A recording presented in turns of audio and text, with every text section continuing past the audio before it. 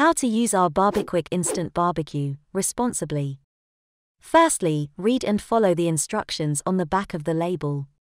There are six clear points to review.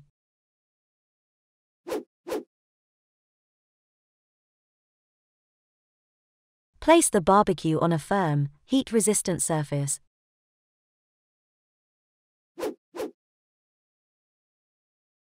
Light the corners of the starter paper and wait around 20 minutes for the flames to die down. The barbecue will cook for around 1 hour.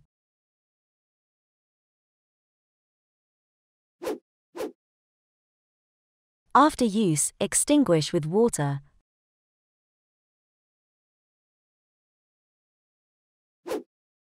Once it's fully cooled, please place it in your recycle bin.